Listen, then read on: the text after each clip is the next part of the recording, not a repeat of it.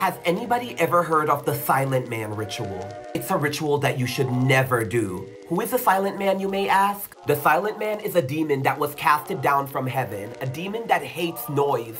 Many people say if you play this game and win, you'll gain never-ending good luck and fortune. However, many people who've played and lost say that they've got everything in their lives, everything good, taken away from them. Not only that, but a lot of people who play the Silent Man ritual have reported that they've actually lost their voice over time after playing this game. If you look at it, it makes a lot of sense. The Silent Man hates noise. They say to call upon the Silent Man. First step is to turn off all the electronics in your house. The second step is to light a candle and go to a window. Supposed to whisper quietly at the window. Silent Man, around 25 times.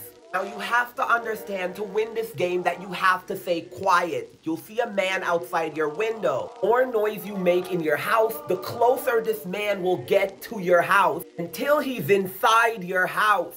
This is why I recommend nobody to play this game. If you guys think I should play this game on live stream, then heart this video and follow my account. Let me know in the comments.